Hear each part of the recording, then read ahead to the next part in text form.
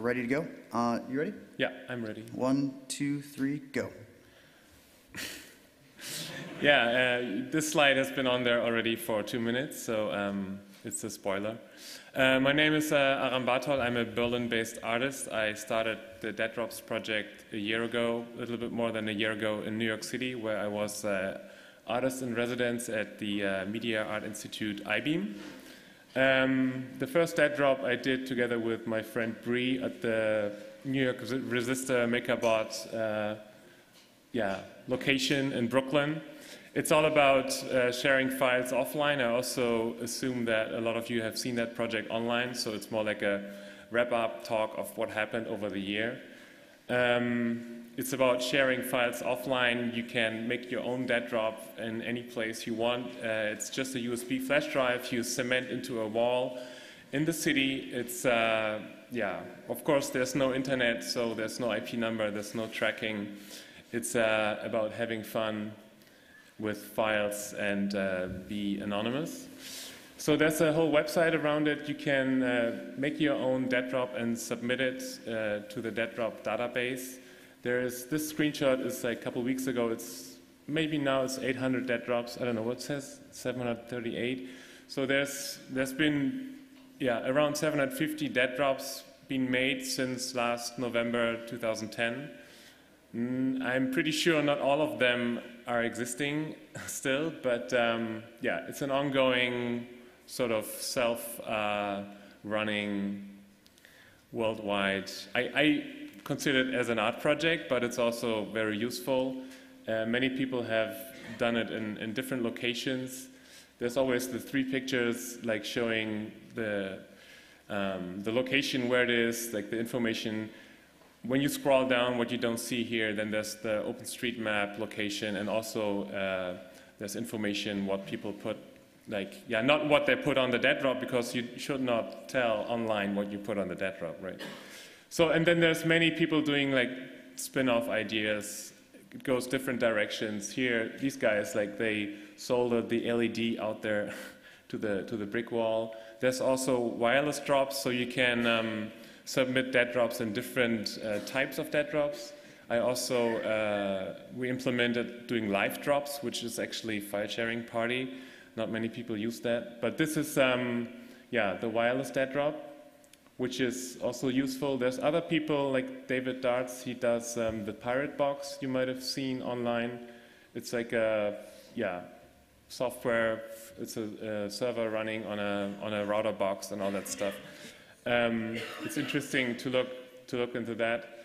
Of course, um, I also assume there's, there's many people here who do uh, or have done geocaching.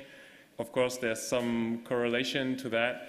It's interesting to, to uh, look back in the history of letterboxing. I mean, on one hand, Dead Drops is the spy game, right? So I hide something and something else, uh, the other spy picks it up. But on the other hand, there's the, the whole uh, idea of letterboxing, which is from mid 19th century, coming from UK. So you have walks in the nature, and you find something in a box, you put your stamp in your book, etc. So there's a whole uh, interesting history about it. Um, the Dead Drops world map is, uh, yeah, also improved since like there's different people helping on the project, programming apps. There's an open API. There's uh, recently um, Digital Overdose uh, translated the whole uh, Google Maps thing to OpenStreetMaps, which is great. People use dead drops for all kinds of, yeah, all kinds of fun uh, experiments. So people done art shows here in France, art show on, a, on dead drops in the city. So people go and look at files. Also bands release their music on it or you find all kinds of interesting uh, files on dead drops. Um, yeah, this is the, the Berlin, the current Berlin map we still need to implement like the uh, if a dead drop is still like in function or not. This is sort of uh, missing at, at this stage. Um, well, yeah, this is the submit form where you can uh, upload all your stuff.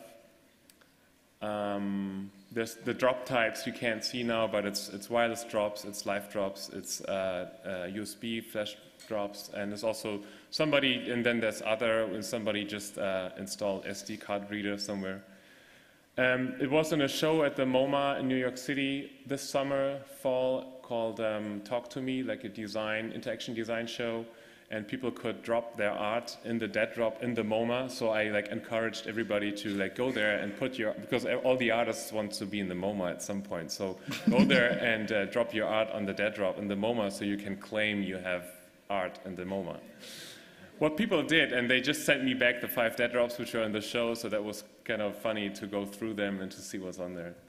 Yeah, this was like uh, just recently the iPhone app came out. There's also an Android app, and yeah, I will show later. There was lots of press over the, the last, yeah, 12 months, 14 months. Um, interviews, things going on. People, journalists especially, keep asking like, so what's, what's on them? And I keep telling them like, yeah, well, I don't know, you have to go and check them yourselves. And that's the whole point. I mean, so people mostly don't, or it's, it's, yeah, you always need to explain, you know, no, I didn't do like the 700 dead drops, it's people out there in the world did them. And um, I, I only saw maybe 20 or 30 when I go to a city. I, time to time, I check them. Um, yeah, this is like the, the people who worked on it. Uh, uh, I, yeah, I'm very grateful for, for all the team members here doing work over the years. Um, yeah, there's an Android app. There's like different uh, HTML5 uh, mobile page stuff going on. Bruce Sterling did with his class a, uh, uh, um, the whole thing to, to layer to the uh, augmented reality browser. So, as I said, it's, uh, if you're interested to work with the API and stuff, you're invited.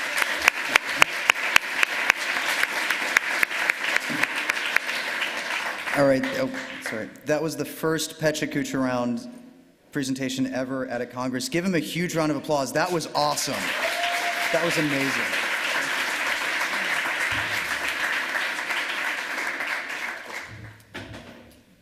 And also, all of the slides are going to be posted online afterwards. Uh, mind hacking, are you here? Okay, cool. No, uh, some of the some of the um, some of the presenters scheduled Q&A time in their slides, so it'll be obvious when they... Uh... Okay, is this working? Are you hearing me? Okay, it's in the back? All right, great. So it'll well, be obvious. Uh, that isn't my first slide, actually, Nick. It isn't? No, no, that is it, okay. yeah. All right, cool. Right. So... Yeah, and some of the presenters have it in them. Uh, could we bring this mic down just a little bit? Or no, the, the podium mic, yeah, because I can, because sometimes if I cough or something, it's picking it up. So, you ready? Okay. Yep. Go. Okay. Hi, everybody. I'm Eulenher, and um, when I'm grow up, when I'm grown up, I'm going to be a mind security expert, I guess, because what I'm interested in is um, mind hacking, how our minds can be hacked, how they are vulnerable to hacks, what attacks can be uh, carried out on minds and what can be done on this. So this is about hacking minds, um, not computers, because somehow minds are like computers, you know. Um, you know this, and what's like a computer can be hacked, actually, and we can hack things. We can find out where they're vulnerable, and I'm telling you a little story on this. Um, I'm telling you a story uh, from Dan Dennett um, about ants. And there's this ant which walks up a blade of grass and it's, uh, it walks up and it falls down and it walks up again, it falls down again. And what's in it for the ant? Why does it do this? Why would it walk up that way? Well, actually, um, it's not an ant, it's an SUV for a parasite that's nested in the ant's brain and drives it up um, the blade of grass. Um, and it's not the ant that's controlling this. And the question is, of course, can this happen to humans as well? Can this happen to us? How can this happen to us?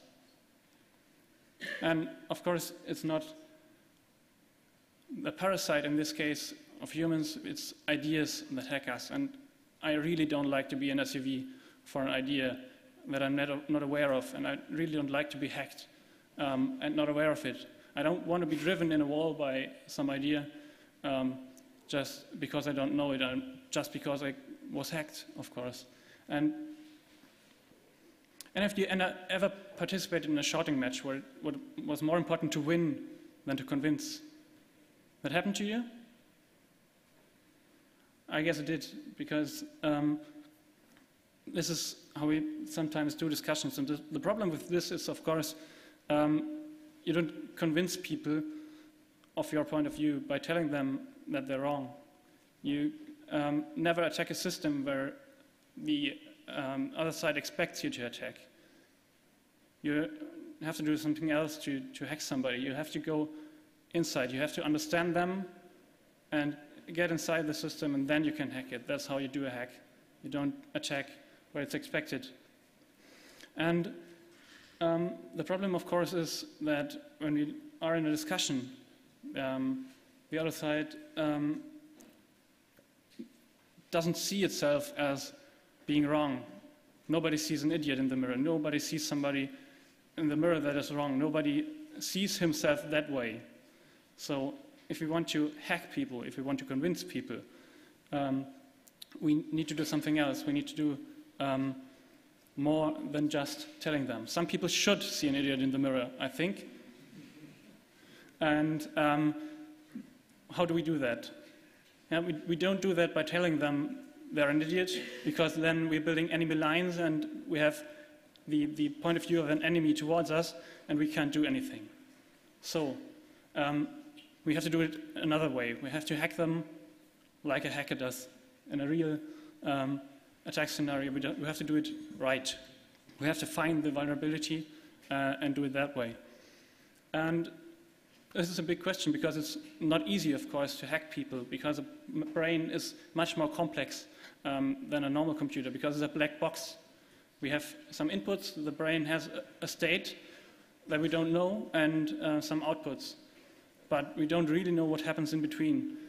And where, where would you turn um, to find out more about this black box? And this is what we like to do. We turn to science, of course, um, because there are many scientists who manipulate inputs towards brains and figure out what's happening and figure out what's, um, what outputs come out on the other side.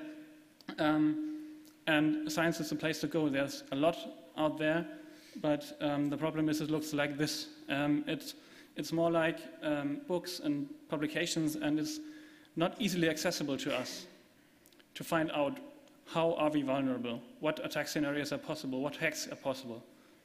And we don't like this, actually. Um, so we started this project, um, mindhacking.org, and we want to build a site. We want to build a website that easily and accessibly um, provides people with the vulnerabilities of their minds and um, how the minds can be attacked and how they can protect themselves against them. And of course, we want to play, we want to hack people. Um, so this is a call for, call for participation. Um, we are two at the moment, um, two of us, and we'd like to have many more of you because all of you in this room here are much more, you know much more than the two of us do, and we'd like you to participate in this. So we need two kinds of people um, to help us out. We need um, researchers. We need people who um, help us go through this scientific material, figure out what hacks are in there, get them out, and provide them in an accessible manner for people on our website, and aggregate the information in a way um, that actually helps us to understand it easier and understand the vulnerabilities that actually are there. And of course, we need developers. We need to make the site in a way that is accessible to people, that is simple to use and an interface um, that is simple to use for people so they can actually um, be informed that way.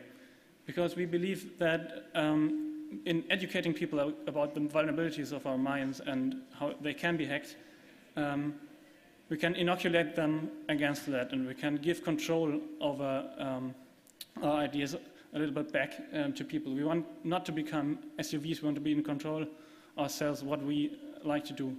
And um, with this, I'm, I'm leaving you here. Um, you can reach us at mindhacking.org. I'm Eulenher on Twitter, and this right here is uh, Mochtu, who will, will be at the conference. And, well, thanks.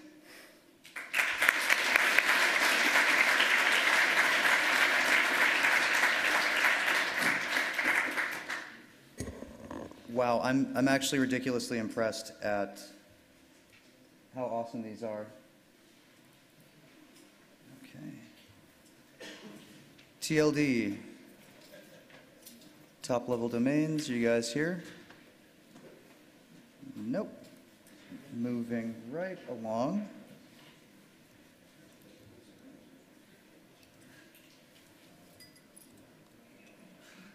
Okay, no, that's not it.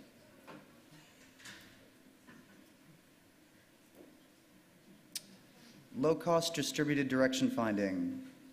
Okay, oh, you were going to use your own laptop, right? Sure. Okay. Keep your, I'll keep you honest.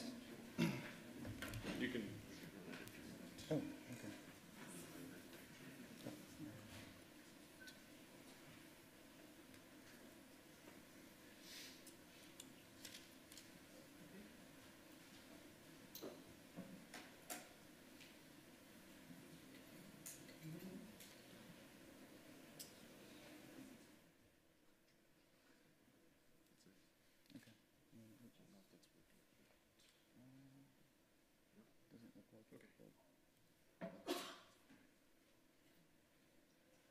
Okay. All right. Sorry. No, no worries. Is that the shot, right? Yeah.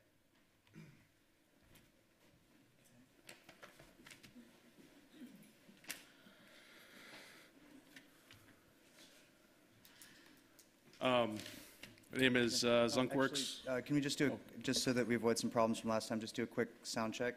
Sound check. Uh, Yeah, just say. Mary Uh, had a little- Test one, two, test one, two. Thanks. okay? Okay. Yeah, and then make sure, to try to point it as much with your mouth as possible. Okay, Okay. ready? If you're ready to go, Okay. then let's begin. Um, My talk is on uh, sound card-based uh, radio direction finding. Um, Basically, what, um, what we're doing is uh, locating transmitters um, and uh, using simplified hardware uh, that's cheap. And uh, so what's radio direction finding? Uh, Determining the direction that uh, a transmitter is relative to a particular receiver. Um, If you have multiple um, stations, you can do triangulation. Um, You can also do triangulation by making multiple observations. Um, This is like a, a single uh, receiver, so you're measuring the angle that the transmitter is relative to the receiver. Um, With one station or one observation, you don't know exactly where they are, but you know what direction. If you have multiple observations or um, receivers, you can do triangulation and get a pretty good idea of where that transmitter is. Um, There's a number of uh, uses. Um, Some of these are like emergency aid and rescue, say someone's lost, but they have some sort of radio, uh, you can probably help locate them. Um, Locating jammers or interference of various sort. Um, There's people that do uh, tracking for sport or tracking wildlife, say endangered species that have been outfitted with uh, transmitters. Um, Finding interesting sources like uh, police, perhaps, or military, and tracking them. Um, Basically, uh, this is your standard uh, Doppler example. Um, As you move towards a source, the uh, radio waves compress and you get a higher frequency. If you move away, it's lower. Um, So kind of an example here, normally the guy, the girls on the left are twirling, and as you're going towards and away from the horn, um, you notice a change in the pitch. Um, And we're going to use this procedure um, to determine where they are. Um, But instead of uh, you moving around, you rotate your antenna, and if you know where the antenna is, um, and your received signal will have, um, uh, you'll, you'll have two signals. You have your antenna uh, angle, and then you have your received signal, and you measure the phase angle, and that will tell you the angle relative to the receiver that the transmitter is. Um, you do this a whole bunch and do, and you average your measurements, so you, and do some filtering. Um, so basically, you have your antenna rotation signal, your Doppler shift, you run that into your sound card. Um, measure the phase angle, do some D, uh, DSP, GPS coordinates, triangulation, combine plot, and coordinate with other um, stations or your own logs. Um, advantages, low-cost hardware. Um, you can do updates on the fly. Um, uh, there's a lot of other things, other advantages that, uh, that you can do um, by doing it this way. Um, there are some problems. You do need a computer. Those are expensive. You could also do it on a microcontroller with the standalone uh, DSP. Um, and uh, sound cards aren't the best analog to digital converters. Um, they do have some error and problems, um, along with the, the way that it works with the operating system. Um, this is block diagram of uh, what I've been working on using a microprocessor and a cellular telephone um, antenna switcher. Um, they're pretty simple. You only have two uh, bits to control which antenna you're, you're on, and you switch between those quickly. You get a, a pseudo antenna rotation.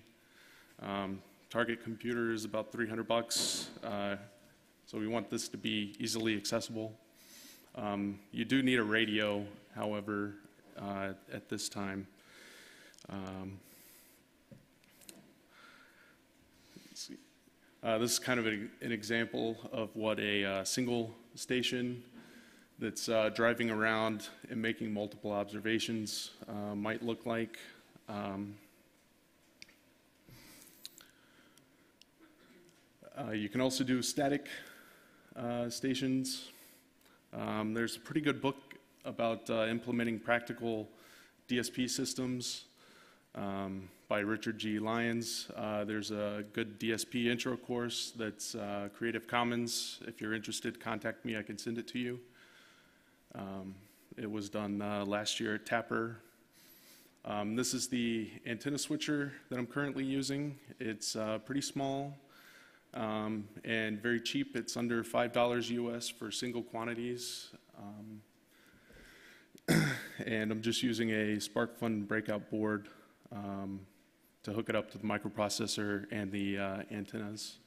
Uh, this is uh, the antenna setup that I'm currently using.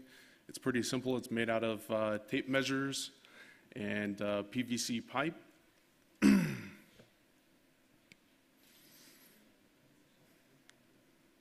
Um, there's other variations that you could do, like uh, four quarter wave whips. Um,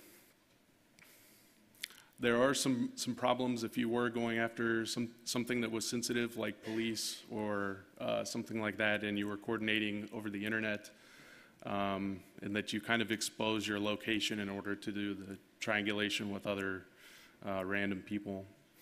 Um, there, there is a um, current working version um, that some Dutch guys uh, built. I'd like to make an open source hardware and software implementation. Um, some more information, contact me via email. Thanks.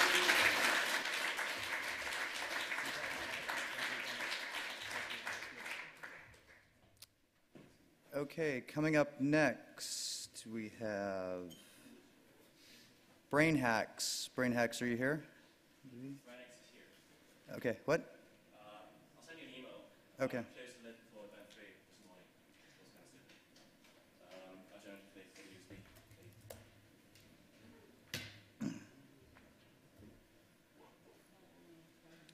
One quick second.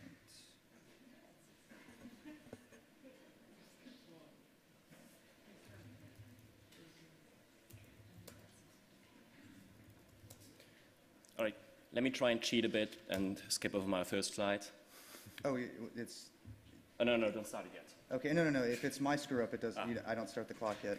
Um, yeah, so my name is Manuel. I'm a cognitive neuroscientist working at the Synthetic, Perceptive, Emotive, and Cognitive Systems Group in Barcelona, which is a great place to be. Um, however, my talk will feature stuff I did earlier at the Institute of Cognitive Science in Osnabrück, Germany, which is also a great place to be. Um, not as great as Barcelona, though. Okay, so you ready to go? Are you ready? Okay, let's do it. Go. Right, now that you know who I am, uh, what am I going to talk about? Brain hacks. Well, what is a brain hack? Um, a brain hack is just like a regular hack, just that it happens in the brain, which means you identify some neuronal mechanism that was evolutionary probably developed to do something else, and then you understand this mechanism and you try and hijack or manip- manipulate or exploit it to do something different, right? Uh, now, brain hacks is not a new thing. Um, everybody does it, and the most prominent example are probably schools, right? The mechanism in question is learning. Now, learning isn't something that you do or don't do. It's something you do automatically. Your brain just sucks information, sucks up information all the time. Um, and school is the idea, well, let's just put the children into an environment where we control the input to this mechanism. Uh, problem is, as brain hacks go, schools suck. They're really bad. They are ill conceived, they are poorly implemented, they are crudely executed, they are inefficient. It's a bit like you found this car that just keeps magically going forward and you want to steer it into your direction of your willing, but the best thing you can come up with is jumping on it and bashing the wheels with a huge sledgehammer until it turns into your direction. Um, so the problem is, if we want to do a good brain hack, we have to understand the stuff. And if you Google for brain hacks, you get a lot of bullshit about brain improvement stuff, uh, which doesn't explain you how it works. So I want to talk about hacking new qualitative experiences. Uh, now, what are these? Uh, philosophers call that qualia. And it's a bit difficult to explain if you're not into philosophy, but um, there's a very, very simple analogy. Um, and if you look at this picture, now try to explain how this picture feels to a blind person. All right? It doesn't work. You can't. Um, if you've never experienced something, then it's impossible just by different means to get the same sensation. Um, sensation is something that you have to directly experience immediately. You can imagine it, but to imagine it, you have to have this experience before. Uh, or, with the words of Louis Armstrong, okay, if you gotta ask, you ain't never gonna know. Um, right, so qualitative experience is something magical. Um, and for a long time it wasn't understood how these worked. And now we're trying to get a grip on it with a theory called sensory-motor contingencies. Now, what are these? Well, the classical model of how humans and robots and whatsoever work is a model called perceive, think, act, which is robot drives around and you know sees the world and sucks up all the information and builds a model of the world and thinks about, oh, what should I do next, and then acts. Now, this doesn't explain a lot of things. Uh, but it makes up for very beautiful diagrams, uh, which is, I think, why it was popular in the 50s, because people loved areas in the 50s. Um, and it, it, doesn't explain uh, qualitative experiences and why you can uh, figure out yourself exercise to the reader. Now, um, think you're a submarine captain, right? And you're cruising around in the sea, and uh, a vicious sea monster uh, just plucks up all your cables and plugs them in differently. What do you do to regain control over your submarine? Well, you just have to uh, pull every lever and push every button and see what does it do? How does it change my uh, sensor readings, right? And this is how you establish a sensory motor contingency. You have to interact with the world. And uh, you have to find out if I do this, what will happen? And you have to find out what the lawful relations are. Okay? So it's about the statistical regularities about how you move in the world and how the world moves back. That has been identified as a key process in establishing qualitative experiences. Right, now that we know it, let's build a new one. Um, okay, where do we start? Well, we need a new way of interacting with the world. Um, and what we are going to do is we are going to have a sense of north, just like pigeons do. Um, and we build this by giving our subjects a belt equipped with an electron compass um, and loads of little vibrators around your waist. Now, what it does is it will buzz wherever north is. Where's north? Can anybody tell me? Uh, no. There. Okay, so it will buzz there, and as I turn around, the buzzing will turn around me as well. So subjects wear this for six weeks, all day long. Uh, and this is what the newest generation looks. So um, those little uh, vibrators are now actually very cheap cell phone pager motors. Um, and it's technically very sophisticated uh, because it's all modular and does Bluetooth and whatsoever. Um, but yeah, uh, the basic idea is we do loads of tests before, and then uh, people wear this belt for six weeks, and we do loads of tests after. And during the six weeks, they wear it all day long. Like they get up, put on the belt, and only put it up for uh, down for taking a shower. So, now what what kind of tests do you want to do to see whether you actually have developed a new sensory motor contingency or a new modality, a new qualitative experience. Um, as cognitive scientists, we're not just interested in the brain, we want to understand everything bottom up to the, the very uh, top level levels of understanding. Um, so we're not just doing brain scans. Of course, we're doing brain scans because this is what we get money for. But uh, we also do sleep EEG to monitor learning. Uh, we do nystagmography. If you don't know what it is, uh, don't worry, I didn't know it before. We do lots of virtual reality experiments because we can manipulate the world. Um, some homing, like pathfinding uh, tasks, space perception, and, and interviews. Um, now, I want to talk about interviews, uh, which you might find surprising for a neuroscientist, but uh, the, the, problem is to explain the uh, neuroscience data, I need more than seven minutes, lots. Interviews uh, are pretty simple because people tell you something, right? And now what do they tell you? After wearing this bell for six weeks, they get a strange sense of expanded space. The space around them grows. Um, how do you imagine that? Well, um, the space here is currently what I perceive as one consistent space, this room, right? Um, if I had to point out to the coffee machine in the basement, I couldn't. No, it's, some, it's, you know, I have to think about how to go through there. Uh, it's somewhere there, but I don't know for sure.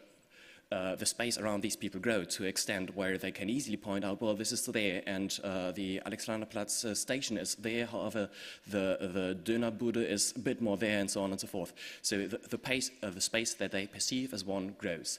Um, and this is what you can do with a relatively cheap setup. And uh, I challenge you to build your own. Just go downstairs to the hardware hacking lab, grab an Arduino, hook up some pager motors. You don't need to use 30, you can use 10 or 20. Wear this belt for a week, two weeks, a day, uh, two months. You will see something happening after five or six hours. Thank you very much.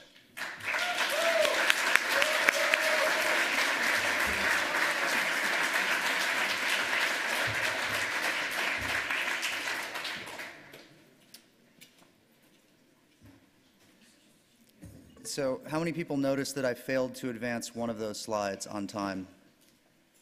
One, okay, yeah, this is the presenter. okay. um, so give him a round of applause for, for dealing with my screw up for that one, please.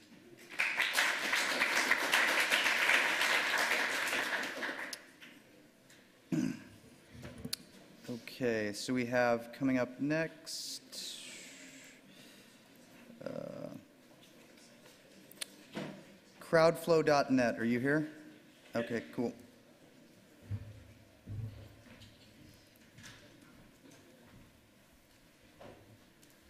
Test that, checking, one, two. Yeah, actually, and then just another thing, if you, if you feel that you're going to be um, going back and forth or looking at the slides a little bit, it might, are you comfortable using a handheld microphone? Uh, yeah, it's okay. Okay, yeah, but be sure to keep it right, right by your, um, is, is that all right for, for you to feel, is he okay with the podium, or should we use a handheld from now on? Can we test with the handheld? Yeah, why not? Uh, Can we give him a handheld mic? Where's, where's one? Chantal, somebody? Okay, yeah, right there. Okay. Yeah, just give him a second to fade the podium mic. Oh, yeah, turn it on. It works better if you turn it on. Did you turn it on and turn it back off again? Okay, so three people in here watch the IT crowd. Check, check. Check. One, two, three, four. Okay, now look, look, look at your slide and talk. Yeah. Oh, yeah, just, just like read your slide right now. Crowdflow.net using Apple's Location Gate for research. Okay, and then tell the audience they look beautiful today while looking at them. Okay, thank you. So, uh, my name is Michael, and. Um, Well, well I, I didn't start your time yet. You ready? yeah. Okay, go. No. My name is Michael Kreil, but just you can just call me Michael. And uh, well, I started the project uh, with the name Crowdflow.net, and I will talk about it in a, a few seconds. Well, uh, usually I make uh, data visualization stuff for newspapers and uh, websites and, and stuff like that. Uh, for example, this was the last project. I visualized some data from, from Facebook. This, is this 16 to 9? This looks a little bit strange. Uh, it doesn't matter. Okay, so uh, Facebook data uh, from Max Schrems. You can see it at uh, Facebook versus uh, Europe. Uh, we did it for, for taz. And probably the most famous project was the data retention visualization on Zeit Online. I did it with uh, Lorenz and we visualized um, the, well, telecommunication provider data from a guy called Malte Spitz.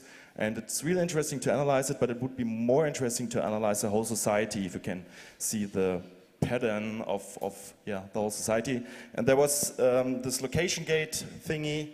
Um, um, you probably remember the iPhone tracker uh, that you can install a small uh, application that um, extracts the location data from your iPhone and presented it in a map, and you can see how, it, how, it, how you can how you move through, through Germany.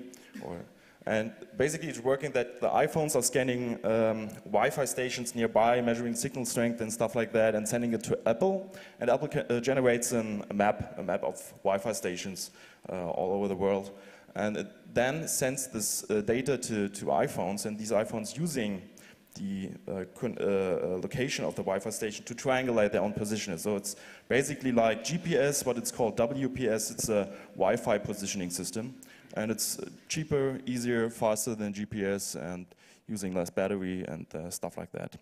So um, we started this project, crowdflow.net, and basically it's a Java app that can extract the data, the location data um, from your iPhone and you can see it for yourself. It's a simple CSV file, but you can also upload it to us. And currently we collected 1,500 uh, well data donations, and we made some uh, analysis and some visualizations out of that.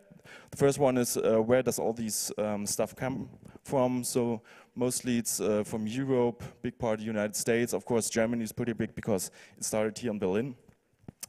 And uh, you can do a lot of stuff, or a lot more stuff. Um, for example, uh, 150,000 Wi-Fi stations are here in, in, Germany, and you can use the MAC address to find out who's the manufacturer of these Wi-Fi stations. And you can make a chart, and you can see that AVM, it's the manufacturer of the Fritzbox, it's a DSL Wi-Fi uh, station, um, is most popular, Arcadyan, Cisco, D-Link, Netgear.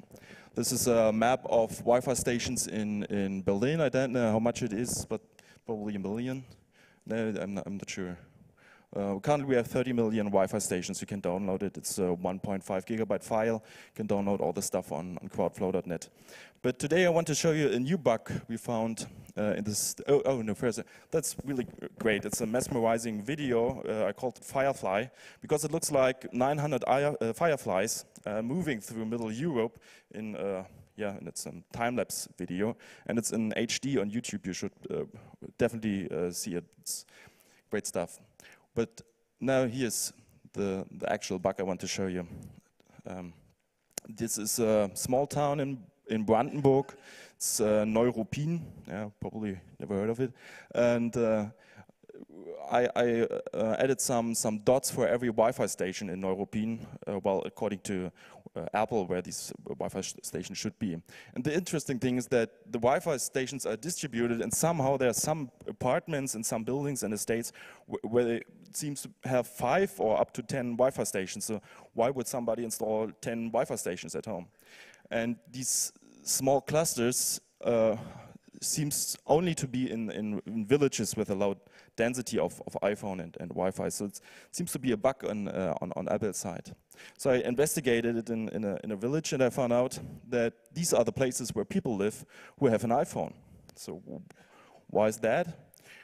Well, the reason is that um, the iPhone's collecting uh, data about the Wi-Fi stations nearby and sends it to Apple. And Apple uses this data to triangulate these Wi-Fi stations to create this map.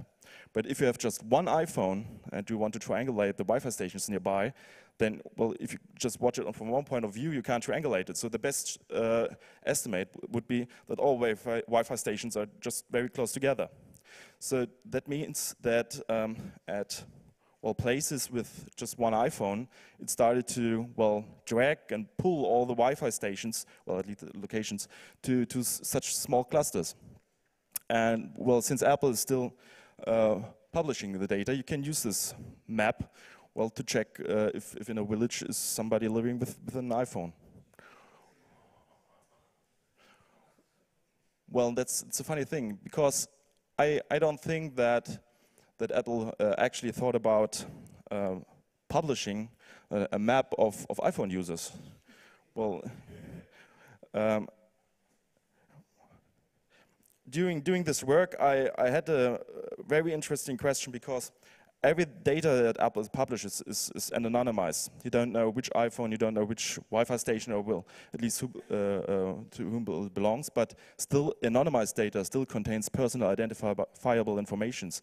Yeah, because you then know which iPhone it was or which Wi-Fi station. But you can see that clusters are at the specific addresses, at spe- specific houses. Well, I think you, you should think about it, what, what data privacy and data protection really means and how you can enforce it or not. Thank you very much. If you have questions.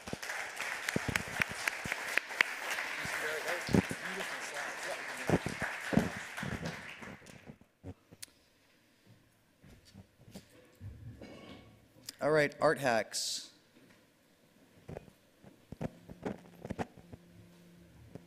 And I think you left the part, I left, I left the party before you did, and you did your slides last night. That's, that, I think, deserves a heroic effort. So give him a round of applause for, Actually finished up like 10 minutes ago.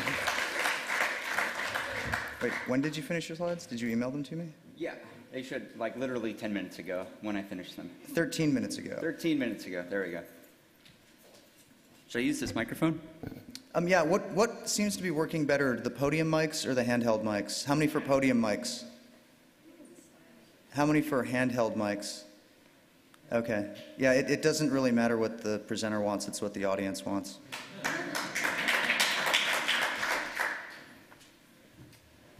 So, so is this the presentation you finished 13 minutes ago? It's horrible. It's going to be awesome though. So, so you actually had the opportunity to practice it twice, right? Sure. I, I'll, I'll just say I set you up for that one. Are you ready to go? All right. Let's do it. Okay, so this is Art Hacks Everywhere. I'm David Huerta. I'm one of the organizers for something called Art Hack Day in New York City, which is coming up in January. Go into that detail. Um, New York City has recently had a very proliferant hackathon culture. So um, there's a growing technology community, startup community that has been putting a focus on, I guess, people building things. This is my first hackathon that I uh, attended when I moved to New York City called reinventnyc.gov. It was actually a hackathon that was sponsored by the New York City government, which is really cool. Um, it also meant they had a decent sized budget, which is why we're eating like um, catered fish and not like old pizza. The, uh, this is basically what a lot of them are like.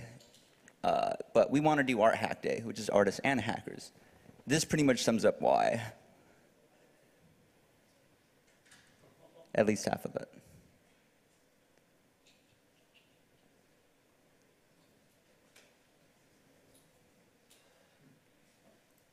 And that's the other half. So in this case, we want to create epic things, do epic shit. So that happens when you have people with strong right brains and strong left brains working together. Um, so, or it could be really awful. There's really no way to gauge that until it actually happens, so we're going to do it. This is our logo, Art Hack Day. Nothing can go wrong. The, uh, it's a very different type of event. Um, we are taking a different approach to hackathons than other hackathons are doing, we think, because we're doing, we're defining and broadening a lot of definitions of things. A little bit of background. This is Olaf. He's uh, probably one of the, the main founder of Art Hack Day. Um, he's actually based in San Francisco, but he commutes a lot to everywhere else in the world, including New York. Uh, we, me and him actually made this like ridiculous scary pumpkin mask with the mohawk made of stems at, our, at uh, NYC Resistor. And that's Paul. Uh, he, I could not find a real photo of him ever anywhere. Uh, but yeah, so he is basically the other organizer of this, the other like third of our little triad. He's a web developer. He does cool stuff. So it's for artists and hackers. Um, the, our slogan is basically we're a hackathon for artists whose medium is technology and technologists whose medium is art. This is a technologist whose medium is art. Um, so these are little turtle shell racers. They're pretty awesome. That's sort of thing we want to see because it's really cool. And of course, artists whose medium is technology. This was actually at the Museum of Modern Art down the street over at the MoMA. Um, basically, it's a showcase of sort of uh, like interactive, you know, human-to-object relations, uh, which we thought was really cool. And in this case, we this is something that we looked at before we started. Um, like I said, we're defining things very broadly. Uh, Warhol actually thinks said that art is what you can get away with it, what you can get away with. So uh, that's basically what we define an artist as. It's very, very, very open-ended, probably dangerously open-ended. Uh, we also have a broad definition of what a hacker is. Uh, in this case, people tend to spend way too much time on the semantics of that, in my opinion. but uh, so basically, uh, yeah. If you show up, congratulations, you're a hacker. Um, so we have a few different aspects to the hacking that's going to happen. so, so this is so we're going to be doing we're going to have hardware hacking. Um, SparkFun has been very generous in donating a lot of really nice stuff to play with while we're at the event that is going to be given away to attendants. Um, there's a very horribly named startup called Fashism, F-A-S-H-I-S-M, that's an iPhone app that's donated, that's letting us borrow some sewing machines. So we'll be able to do wearable things, like this really cool uh, EL wire like outfit that uh, somebody was showing off at the Robot Film Festival. MakerBot is also going to be there, of course, with MakerBots. So we'll be able to do some 3D printing, um, 3D design, and you know being able to like build stuff on the spot. The venue itself is also going to have a laser cutter theoretically. So we'll basically have a pop-up hacker space in the middle of bushwick in brooklyn. Of course there's code. There's always code. Um, so a lot of people that have a sorted history in data visualization are going to be there from what i understand that have signed up anyway um, so there will be plenty of sort of the traditional get down on your laptop and start coding stuff out sort of mentality you see in hackathons. And then you have 24 hours to do it.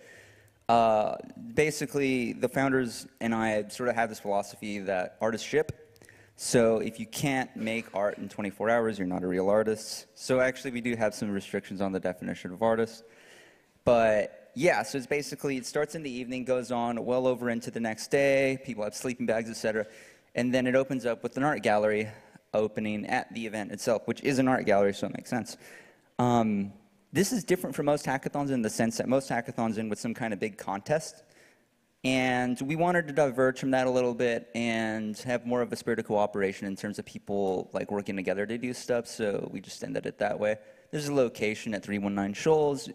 It's really great to find places like this because they're spacious um, and they have a history of doing cool stuff. They were also the uh, sponsors of the Bent Festival, which is a circuit bending festival in New York. And that is a dead drop. So that is a sign that you found the place that hackers are invi- invited to.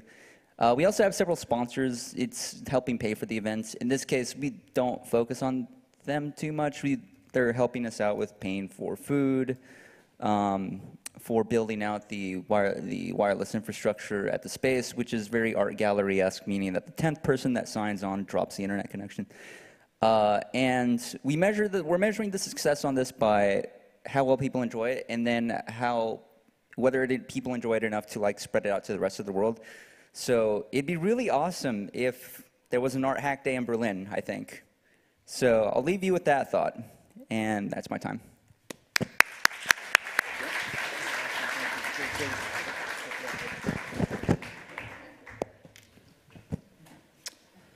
Okay, let's see, up next, um, grep for there is much to find in Python.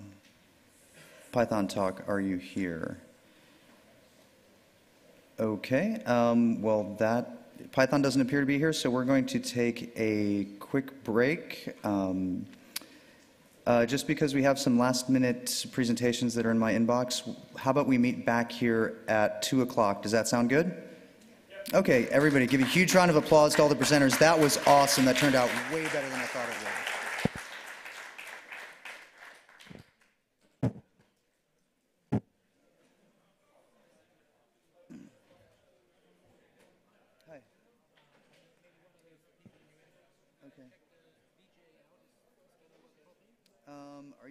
advance. Um, okay, Robin.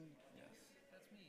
Okay, are you going to advance your slides on a 20-second schedule? Uh, do you have Do you have 20 slides? Some kind of animation. but uh, I tried to expand it. I got 14, but it's also software.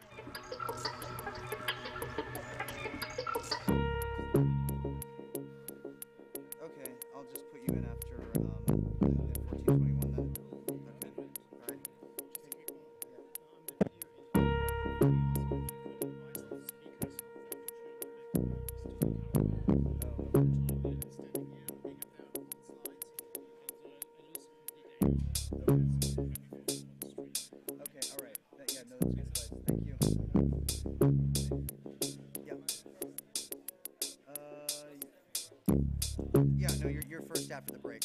So yeah, so at two o'clock, come back here on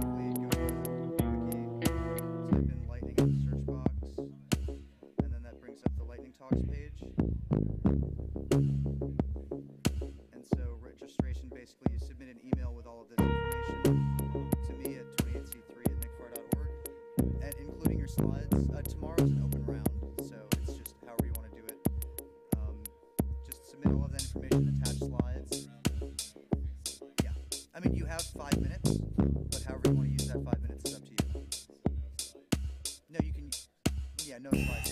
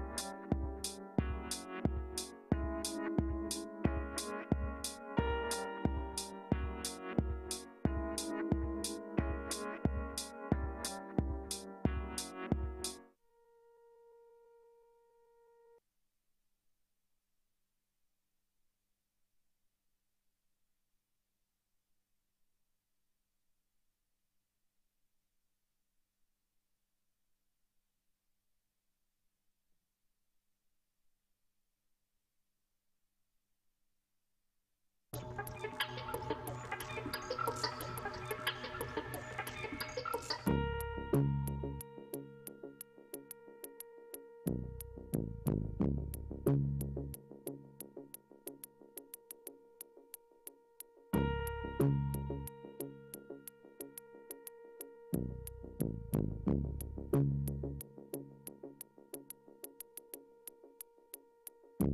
mm -hmm. you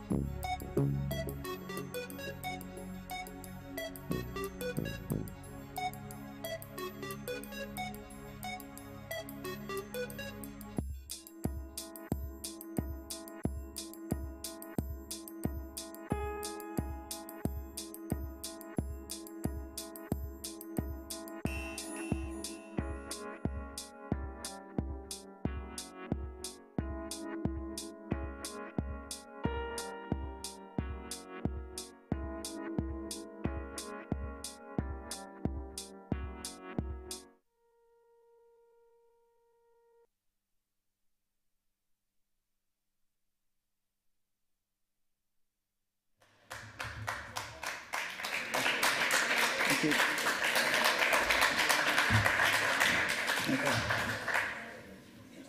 Yep.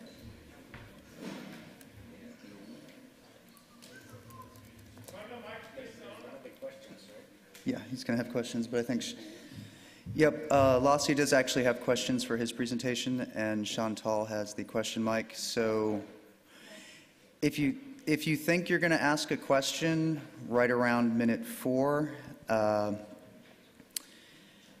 um, just raise your hand so that he can be prepared for you because he's going to have, I think, 60 seconds for questions if I remember reading your slides correctly. Uh, uh, sometimes like something like that. Okay. Okay. Microphone working, nice. Uh, yeah, do just do a quick sound check, like say Mary had a little lamb or something like that. I think it's okay. Or Sound last guy? row, can hear me?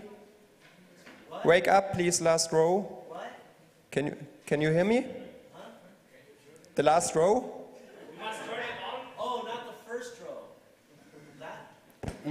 I, I hate to say this, Um, dude, but I think you're being trolled. I know. I don't listen to him, but the last row still uh, says nothing. That's- Can you hear me back there? Oh, yeah, cool. Okay. Yeah, they're, they're still asleep. That's why they're in the last row. That, that's how this works on day three. Alrighty, Loss, you ready to go? Okay, yeah, I'm Let's ready. go. Yeah, um, first I start with that slide. Uh, Nick asked me, I think yesterday, uh, would you like to, or day before, would you like to Pecha Kucha? And I said, uh, what the fuck? Yeah, I do. What's that? Uh, so, um, yeah, first time for me. I just try it. Um, yeah, I think I started at today at like 10 to uh, make all the slides. Yeah, it will work out. Um, yeah, I'm talking about the Ultimate File Sharing Network. Uh, a little idea uh, I had months before, uh, it's just thing in my head. Yeah, and I want to think with you about it. Maybe it's good. Yeah, so uh, the situation we are facing is uh, the number of users bring numbers of servers to any event, and we have lots of files and lots of servers. And yeah, that uh, raises many problems. And yeah, uh, you know, when you look for all the FTP servers here, what is where, and uh, the problem is, what is that file? Is it name correct, or is it that movie or that one? And is it really named right, or is it spelled wrong, or uh, what's in it? All problems that we have. Um, yeah, and then yeah, FTP. Uh, yeah, I don't know how much of you download stuff here, but uh, user limit reached. Uh, maybe you know it. Uh, maybe you've downloaded broken folder mirrors. It's pain in the ass, and yeah, all the problems that arise. Um, yeah, what you find there on the servers, it's just sometimes random. Um, some people put their 720 movies into HD, and some say, no, that's not HD, that's too small. And yeah, the problem is movie, video, film, it's totally confused. Yeah, and the idea is um, we need to label our stuff, and then we need to distribute our stuff and can search it, and it all runs via torrent. So that's basically the idea for the uh, Ultimate File Sharing Network. And the point behind is um, the first thing we have to do is to label our stuff, and there we need to use only a list of allowed tags. We can't use any tags that we want because then it gets confused. and maybe use categories, um, so hierarchy. Um, yeah, and when we have labeled it, then we create a torrent and share it, and then we can index it and search it, and yeah, maybe with a fancy web application, maybe only with the console. Some of us still use that. Yeah, and after that we share the file, and I think there's only one good option, and that's torrent. Where you see um, why there. Um, FTP just sucks on this big event here, and yeah. Um, one of the point why torrent is uh, so great in my eyes is um, it just spreads the bandwidth uh, for uh, all of us um, equally and we have a constancy over any number of events. So a server that's now here um, will meet you again maybe at the Easter hack or something like that. Yeah, and is it? Yeah, and then we have um, the big questions. Um, now we have chaos. Should we use uh, order system? Is it more productive or not? Uh, I don't know. Let's uh, talk about it. And so the point is now, do you think it's a good idea? And the question is, will there be users using it? Because it's harder, you need to label the stuff and you need to do work before you download something. Uh, are there developers that help us? Yeah, that all the questions and the possibilities we have with it, it's fire and forget system. Uh, torrent is either done or not done. There's not something, a folder that you don't know if it's downloaded correctly or not. It's there or not, and we can use it anywhere. Yeah, um, the question is, uh, who likes the idea? Just raise your hands. Who would use it? And who will work on it? No hand? Okay, maybe you will come to me later or something like that. Yeah, um, there's a lot of room for improvement, and that's not the ideal uh, solution. There are maybe better solutions, um, I think, but we need to work uh, on it. Yeah, and that's the point. It was just idea in my head and said, uh, there's a problem, I download something, I have folders there uh, where stuff in it I don't know, I haven't looked at it. And I thought, let's change something there, let's do something. Uh, what do you think about it? Anyone have a question? Yeah. Why torrent? Uh, it's simple. What's the uh, alternative you think about?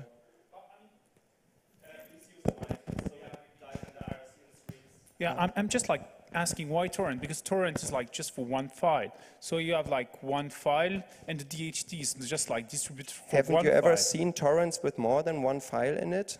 Yeah, no, I agree you. But what I mean is like, for example, you want to download, I don't know, the last uh, movies, fashion, American stupidity. It's very easy because there is plenty. You want to find something that is a little bit underground, you won't, you won't find anything because nobody distributes it anymore.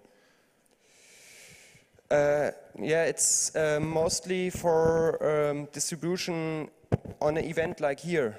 When you look at our servers, it's there, and there's not the point that you don't distribute it anymore.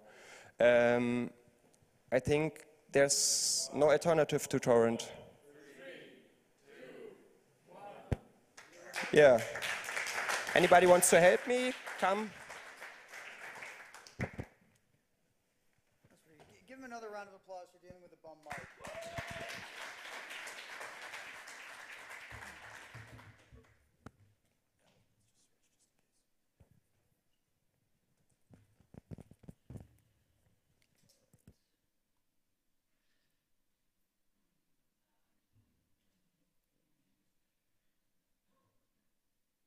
And then next up, okay. Sorry about that. Next up, we have,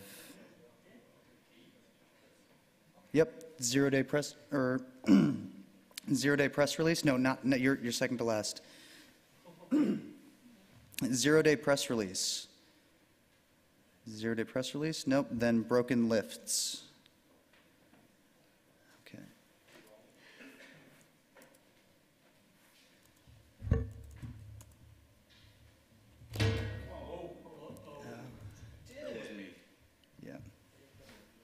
No, that was, that was, the were the people who between, when we started this morning and yesterday's lightning talks, shifted this table over maybe, maybe two meters.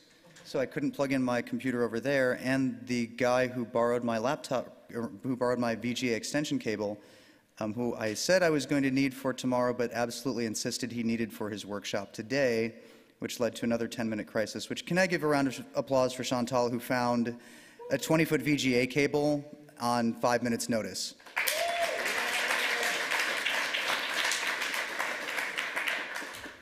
Okay, so without any further ado, you ready to go? Check. Oh. It's on.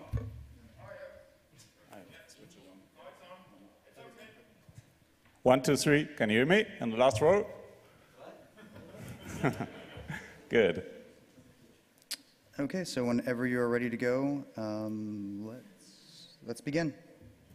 Hi, my name is Toby, and if you don't like my talk, you're, you're free to throw your rockets onto me, because I didn't get one, so.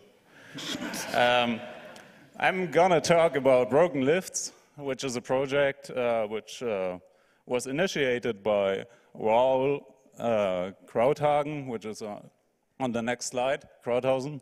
And uh, he's uh, maybe well known uh, by wheelmap.org. And um, yeah, there's a, a, community called Sozialhelden. And uh, that's when he um, announced the topic and uh, uh, created Broken Lifts. And that was in December and at the Random Hacks of Kindness event. And there were many people in involved, as you can see. And um, I'm going to tell you what we did. Um, you can see that uh, that was uh, totally messed up with uh, people who didn't know each other before. And uh, we tried to create a better version of uh, out of service uh, notices for broken lifts here in Berlin. And the current situation is that you have the S-Bahn and the BVG as the public service provider. And uh, whenever a lift is broken, you can go to this website and look it up. And maybe you noticed this uh, on the top. Um, S-Bahn uh, puts the current date. So I prepared that slide at 4 o'clock this night.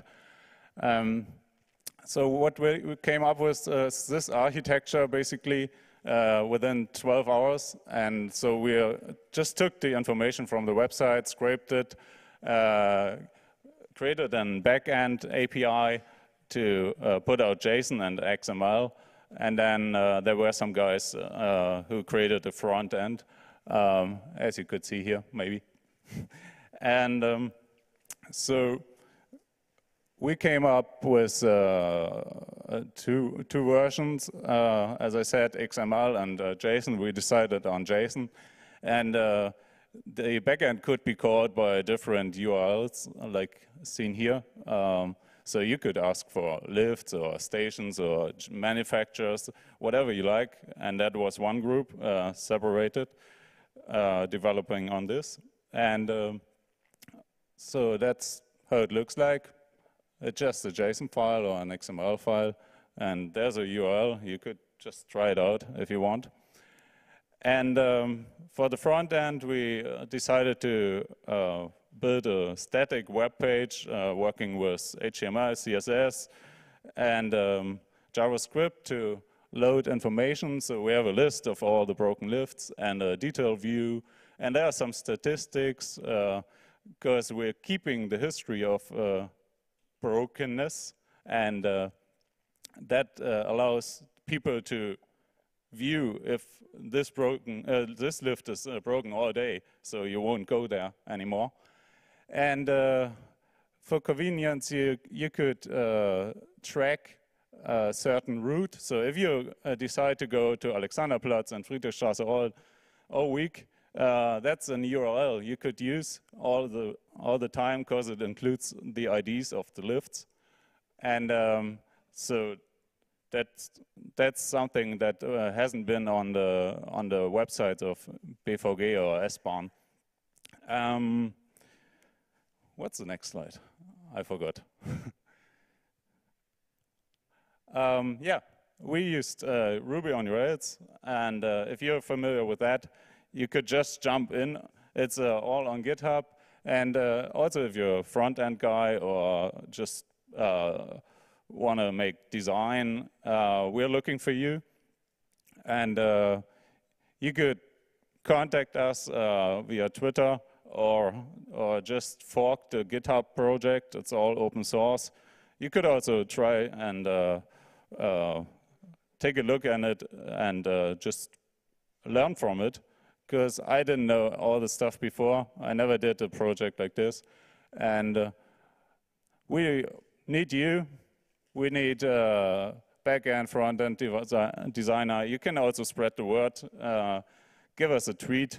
And um, we want to improve the, the whole uh, broken lift uh, situation. And um, yeah, if you, if you uh, extend this project, that would be good.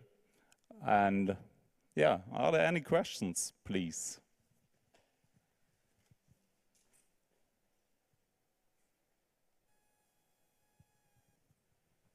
I guess there are not. So that's why I put this slide in. That's just uh, uh, eye candy. That's a project uh, visualization by Gource. So that's how we created the structure of the project. And I, uh, I just put it in tonight at 5 o'clock because I didn't know how to fill 20 slides.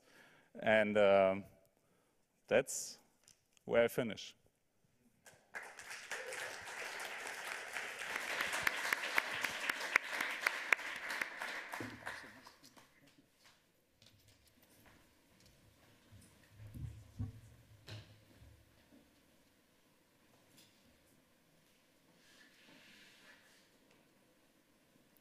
I- I'm, I'm sorry, I got to ride this one out. Uh, It's, it's part of the format.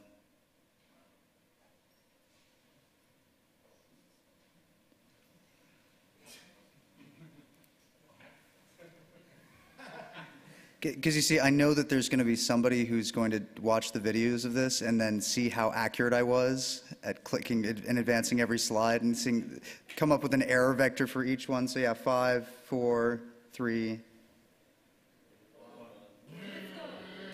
All right, give him a round of applause. That was awesome. Thank you.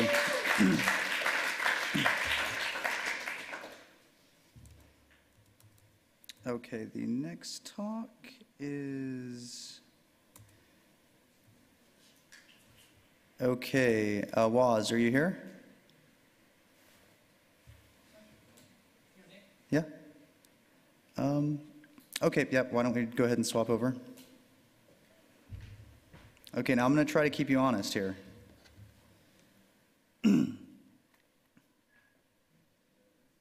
want to do the advancing? or- Yeah, I, that's probably better. Okay, there's an alt, alt tab to show the software working. Okay. I'll... Do do do do. It's okay, I only got 14.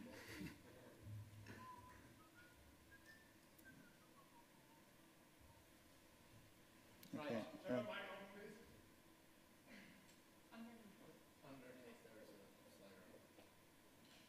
Oh, we're good? We good? We are good.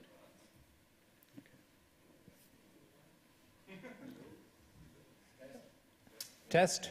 Okay. Right, I'm, I've only got 14 slides anyway, so I'm going to start talking about a piece of software that I wrote. It's, it's actually pretty simple. Because it's a rubbishy computer. Donations accepted. yeah, F5. F, um, it's not showing up. Okay, it's already there, yeah. Okay, good. All right, it's Wikipedia Plus. Whoa, hold up. Time. We're really professional today. Okay, except for the equipment. Okay. All right, on three. One, two, three, go. So it proceeds from the starting point that Wikipedia is a very good beginning for research, but there are problems with it. It's a popular attack target. Wikiscanner showed that uh, certain people would like you to think that uh, what's on Wikipedia is the whole truth.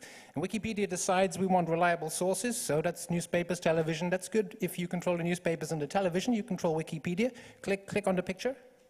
Here's an example. Wikipedia says, oh, it collapsed due to fire at 521. I would say at least that there's room for discussion, but according to Wikipedia, there's no room for discussion. So how do you fit that discussion in? Because Wikipedia is a site that everybody goes to. So what the software does is you install it, you forget it, and then one day, hey, you remember it because it pops up a little suggestion. It's, oh, by the way, there is another opinion here. Click here for somebody else's thoughts about what happened to 7 World Trade Center. So that's what it does. How does it work behind the scenes? It's, yeah, it's quietly, every time you're on Wikipedia, it goes away and it checks against the sites which you said you were interested to know about. Oh, do you know anything about this page? And according to, if it finds one, then it pops up a little button so that you can, uh, you can go there. So it's like it's adding a little list to the, you might want to go here on the bottom of Wikipedia page, but it's not on Wikipedia, so they can't take it off Wikipedia. So it intercepts the page loads and says, okay, that's the language and that's the page name. Is there an English language site that you've said you're interested in that references this page name? So yes, you have to, it can only go to a site that's ready to receive it because you say, okay, this is my access URL, it's a template. He was on the 7 World Trade Center page, so if that's got a page, it will look like this. So it just sends out a head request, have you got a page? Checks the code, if it's a 404, don't bother.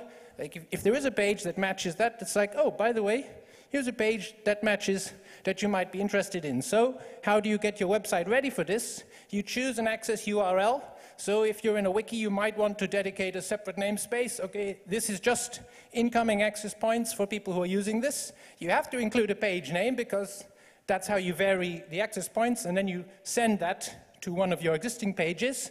You may include a language code if you've got a multi-language website. Then you go ahead and you make the pages. So every page on your website has to be associated with one particular Wikipedia access point. So if you've got a wiki, that could be just a redirect. If you've got another website, you manage that how you like. I've written a little piece of software, you can just put it in XML. So are you locked into particular websites? No, there's a GUI. You can say, okay, these are the access URLs I'm interested in. So if you enable your website and I say, okay, let's add that to the default install. If you want to uh, configure yours in another way, you say, I'm not interested in that one, you just delete that. So yeah, you choose the sites, and what are you doing here? You're tying your website to a particular Wikipedia page. Now, okay, that does take some time, but it's got some value anyway because it's effectively a URI, which Wikipedia, you know, there's a lot. They're pretty comprehensive. They're fairly self-documenting. Just go to the web page. They're easily localized because there's a big list of foreign languages along the side. So you are getting your site ready for a semantic web. Okay, where is the software at the moment? There is a plugin that works for Firefox 3 or more. And what we're looking for is anybody who wants to develop it for IE or Chrome or improve the plugin, or even better, if you've got a website, that's actually the biggest gap because there's a network problem here. So people say, oh, but that only works for a couple of websites. Well, that's up to you. If you've got a website and you'd like some more traffic, then you just match your web pages to the Wikipedia URIs, uh, and then you let me know via email. And there was some contact details somewhere but you can probably remember the website anyway, wikipediaplus.org. And you could see it going, but I mean, that's, that's no great shakes. Have we got time? Yeah. Okay. So you're here. You can enable it or disable it. It, it does slow it down slightly because I haven't coded it as well as it could be coded, I'm sure of that. But if you enable it, I mean, I, in Bangladesh it's a right pain, I tell you, but you got some pretty good bandwidth here. So, okay, it's popped up a little thing. Then it's like, oh, you might wish to go here or here. Click here. You can configure it. It'll, it'll send you there or it'll open it in a new tag or whatever. Um, so there's a little bit of configuration you can do, and yeah, that's something else. And yeah, you know, are you interested in this website? Well, that's one that it comes with by default because I liked it. But if you'd like, if you have a website and you'd like yours to be packaged in on the list of default websites it could go to, then yeah, Wikipedia enable it and contact me. Thank you. Any questions?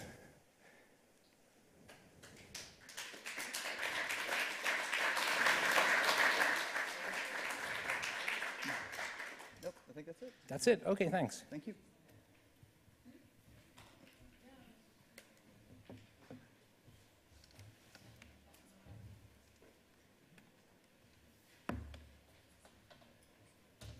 So, uh, Waz, are you in the audience yet?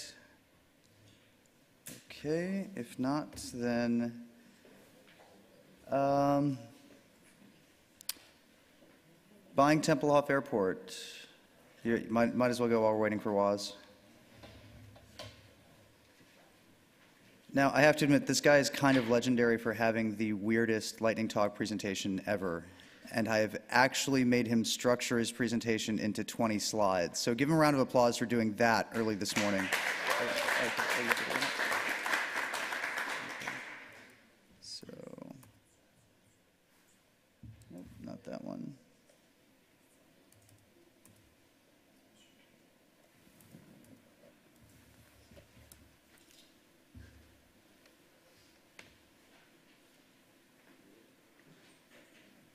Okay, we have the timer set. Oh, do you want to use the handheld? or the podium? Hi. And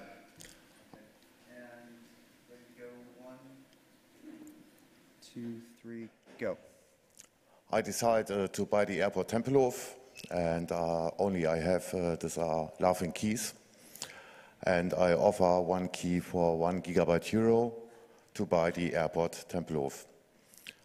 You see it uh, here in the picture. This is uh, the airport. This is also the reason why the laughing comes into the key. Why I want to do this? I want to build a temple machine. It's a moving, um, movable machine to rock a party inside. Uh, 365 days, and um, yeah, this is a Verdichterhaus. There I live for three years, and um, there I get the idea of a fire machine, temple machine, and I lived there for three years uh, to build this machine. It's a nice location and place to be. You see it from uh, above. Inside my living room for three years, uh, there I built um, the machine, a small model, only six meters high. And uh, there I give then keys to the people that comes to rock a party there inside. And it was uh, really good. So, and um, I tried to build there, uh, to make there a party with 100,000 euro, and um, it didn't work. And after this, um, I put in a party for a million euro into the internet. This is the machine um, inside. It's all movable. I have also videos. You can see it. Uh, just Google Temple Maschine, and uh, you can see the videos. It's 12 meter high, 48 meters uh, around, and um, so it looks inside. You can uh, put it also at other places. The machines are connected uh, together in all uh, continents.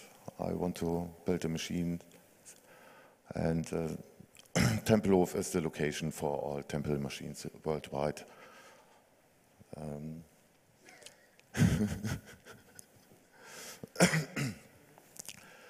yes. Um, so it looks. Um, so it looks at the Tempelhofer field. Uh, check. So um, this is near the the airport reference point. There should the machine then uh, stay, and uh, the party rocks there the whole year, 365 days. Also in the winter, there are heaters, infrared, infrared heaters. Uh, you can uh, dance there with a shirt then in the winter, open air. This costs a lot of energy and also a lot of money. And the shortest way to buy an airport is offer one laughing key. It's art from me. I have only keys. For one uh, gigabyte, uh, this is one billion euro, and ask a thousand of uh, the million billionaires worldwide to buy this key. So we can uh, rock 365 days, 8,760 hours, and dance. So, dance now. so, um, that's the reason I do this. I want to know one place in the world where the people every time are dancing. Every time. And uh, then we teleport uh, us from uh, one machine to the other. They are connected with um, beamers and other geeky stuff uh, with uh, 3D mapping. And we see us, each other, dancing in Tokyo, for example, or in uh, New Delhi, India. So that's it. We need also 1,024 millionaires that pay only a deposit for a key. I don't sell the keys for a million. You can only pay a deposit for this key that we get uh, also one gigabyte euro. Um, so tell all millionaires you know, I have laughing keys and uh, 1024 of them, so many keys. Um, in eight units are 128 every three months. Uh, I want to fill them up this year and next year. We have worldwide 10,000, uh, 10 million millionaires, 10 million, and uh, we need only 1,000 of the 10, 1,024 of the 10 million millionaires uh, that pay a deposit for a key. And they get then a laughing key um, in, in one ounce gold, gold after one year. And um, yeah, after one year they get also the key and the money back. We need only the uh, interest of the deposit. These are the people uh, that we have to ask. So we have one million euro a week for the party. And we uh, can build in a lot of geeky stuff and um, rock the party for free for everybody who comes there. Tell it to all billionaires and millionaires, you know. And uh, we see us then uh, dancing in the machine and my new airport, uh, Tempelhof, here in Berlin. The town Berlin don't know uh, what, uh, um, what I'm doing, but when they get the money, they will be really happy because uh, they need it here in Berlin. Yeah, that's it. If everybody, uh, if uh, everybody want a key, come then to me in the machine. And next year I bring again uh, some stickers.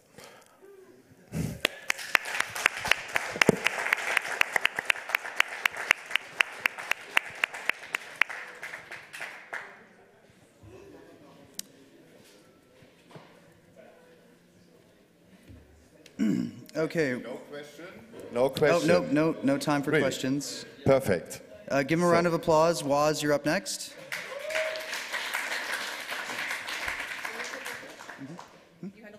Yeah.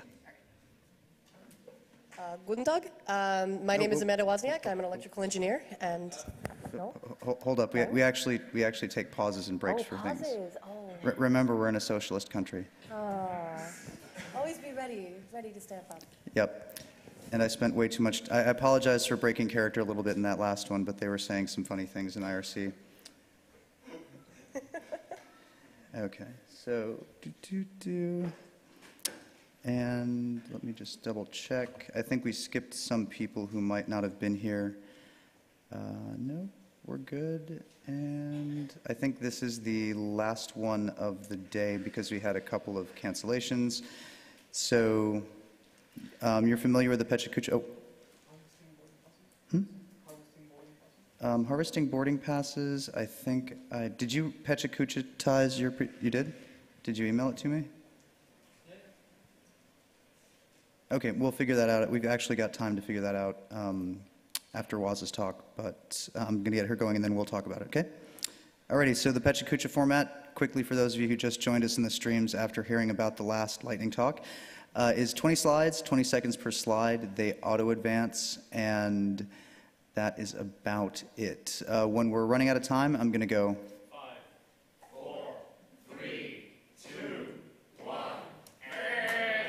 And that means you're out of time. And if you build question time, you didn't build question time into your presentation, did you? No? No, Okay. my, it's a little longer, Okay. because I need to click through faster sometimes. Okay. But th- that's 20 slides, though, right? No, How, how how many slides is it? I think it's 26. 26? Okay. Well, then. we'll- Some slides should only be five-second slides. m- Microphone, because IRC can't hear what you're saying. Some saying. slides should only be five second slides, Okay. so. click- Well, I, I don't know. Should we allow it? Uh, All right, okay. How many people say we should not allow it? How many people want to let her get away with it? Okay, you win. So just- Yay, you get more information. Okay, all right. Um, that's my screw up. So um, normally during lightning talks and I screw up, we add time. So it all works. Um, you've got six minutes and 40 seconds, and just say slide when I need to advance. Okay. right. And that includes this title side. So one, Okay. two, three, go. All right, so open sourcing the engineering design process. Basically, I'm a double E, and I'm going to talk about um, everything that goes into building an electrical system that you should think about documenting. Slide. All right, so first, what is the engineering design process? It's the miracle that occurs between when you have an idea and when you try to get hardware. And uh, it's, it's a miracle because depending on what you're making, it can be incredibly complicated. If it's a mechanical system, a code system, um, there's a lot that goes in there. Slide. So, you know, the idea, okay, well, I'll just talk about what I did, but it's really hard based on what you're building. Um, you can have design for manufacturing rules, you can have schematics and BOMs, but there's a lot of other things you might contemplate when you're building a system. Slide. So, convention states that if you're doing open source hardware, a schematic and a BOM and um, a Gerber is sufficient to reproduce your design. It's like an executable file. Should that be sufficient documentation? And the answer is no. Do you know what this board does? If I gave you the parts list, how long would it take you to figure it out? Slide. Because there's nothing open about your hardware if I have to reverse engineer it in order to improve on it. And it's the same thing for code if you don't have a documented code or if you had like a lot of contemplation about a protocol that went into you making a system. If you tell the story of, of your contemplation, then other people can actually like work with you in a dialogue to improve upon your project. And I'm going to run through briefly what we need to do for hardware in order to make that possible. Slide. So the industry beats hackers in hardware design Ex- exactly because when you're at a company behind the NDA and firewall, you're required to document everything about your product, including your rationale in every decision as you go. Their motivation is if they lose an engineer, they don't want to be able to lose, they don't want to lose the project. Um, and, you know, it's very, very strict how open things are so that you can have um, a very good review and a dialogue between generations of engineers and engineers across, um, com- across companies and across continents. Slide. So this is the vaulted engineering design process. It's literally what you do every day when you're messing around with a system, but you be formal about it. So you have an idea, and then you ask important questions about the system you want to build. Then you answer internally all of those questions, and this is what most people skip. They don't write down their rationale. They don't say, oh, I'm really trying to build this radio system, so I need to make these decisions. And so when they end up two years down the line, they don't remember why they chose to do something. Then another thing a lot, of, people skip is you need to hold a review. You need to invite other people who have not been there with you from the beginning to look at what you're doing and sanity check your stupid mistakes. Then a lot of other things we all usually skip. We try to go to the end and get a final product, but you really want to make one, test it, go through and do full test coverage. This is very important for hardware. It's also very important for secure software. And go through and see if you asked, addressed your original questions, and then you make money and profit. Slide. So it's a real pain in the ass to go through a formal design process, but if you do it, it really, really saves your bacon because the cost of mistakes in hardware is a lot, yes, delicious bacon. But the cost of, the, the cost of failure in hardware is you might have dropped 20 grand on a build and it comes back and you've got 500 boards that don't work. Slide. So the following are crib sheets that for the process that I follow when I go through and do engineering design, um, regardless if it's for work and prototype medical devices or the ninja badges or hobby projects. Um, so read the details later on because we're going to go through it really quickly. Slide. So this is an example from work. I've given this talk before, so all of this is totally public. But I had a project um, where one of the faculty members wanted me to build an autonomous robot. And I say, okay, well, as an engineer, my process goal is to front end load all of this design work and the effort so that I can debug this and reuse it trivially easy. I want to do the work now so that when I have to look at this project in two years, I don't need to do any work later. I want to be very, very lazy down the line. Slide. So every project begins with the motivating questions, and always, always do this. Why are you making it in the first place?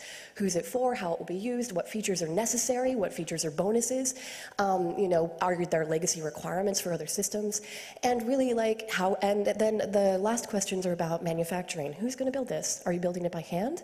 Um, do you have a budget to have someone build it out of house? How many do you need to make? And what's what's your timeline? Slide. So this is the hardware design workflow that's explicit to electrical engineering design. Um, it's different from mechanical design. But the concepts are you actually review at your design concept level. Like when you have an idea, you make sure it's a good idea and you make sure it's worth doing. Then you do all of like the specific work for your CAD program from dealing with parts and the schematic and the layout. Um, and that's like, it's like writing your code, it's like setting up your, your framework um, in a uh, development environment. And then you have all of your manufacturing, that's the third part where you check based on who's making it, if you're doing all of the right things to make it easy for them to make, to make sure that when your stuff comes back, it's what you thought you were building and it's correct. And there's a lot of detail in this. So it's very important to go through each step in a logical flow. Slide. So this is what I did for that like demo robot is I actually broke it down into modules and I'm like, what is already existing so that I can reuse it? Because if I have to redesign everything and be original every time I make something, I'm never going to get beyond a blinky light.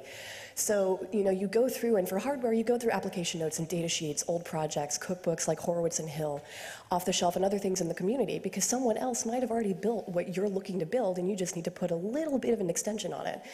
And then to be rigorous, I break it down into block diagrams and look at the input-output relationships, much like you would if you had an input parser going to an operating system. Slide. So, I mean, even pros use Arduino. Um, it, the take home lesson at the bottom before going through the design rationale is final releases are what are optimized. But if your first point in a project is to build something that works, build something that works. Um, hardware is iterative, and you can always optimize later. So an Arduino is open source. Great, I can copy the files. The Mega had a really fast SPI bus, which was one of my requirements for this robot. I didn't have to waste any time on originality. The learning curve, cool, learning curve for the toolchain is null, and I thought, okay, maybe like other people have worked with these servos and I can piggyback on their code. I had to rewrite the library, but you know, I thought I might have had a shortcut for being lazy. Slide. So um, going through the next bits, which get really into double E stuff, you want to Wikipedia these lexical, lexical definitions. I've grayed out, you know, the definitions that you should read later. But a part library is the representation of physical parts in your CAD system. A schematic is the logical drawing of how you connect all this stuff. A layout is the software representation of how it physically looks as a circuit board. And tape out is the step where you're done doing all of your CAD cycling and double checking of everything on paper. And then you send it out for manufacturing and start to pray that it comes back right. Slide. So best practices when you're doing a schematic is um, Start with your CAD library and curate your parts as you go. So as you pick parts from DigiKey to use in your design, make sure they're in your library, make sure they're correct. If you copy a library from like SparkFun, double check the footprint. I've never seen people commit stuff back. Um, take time to find multiple vendors. Um, take time to note physical design rules. Go. Four, three, two, one. one. Out of time? Yeah. Okay. Sorry. Well,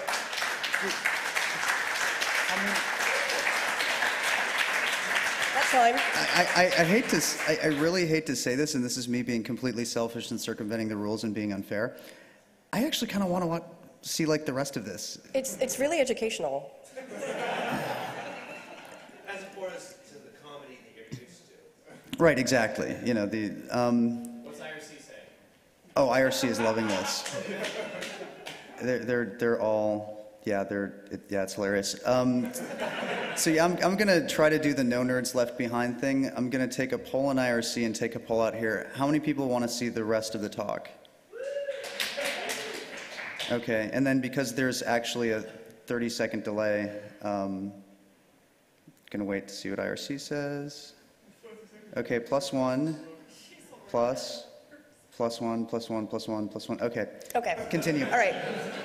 I'll, uh, I'll try to I'll try to go faster, but I'm trying not to talk No, too no, quickly. no. No, I, I- I think the, the, the ongoing gag on, oh, okay, now they're saying faster, but the Faster, ongoing. oh. yeah.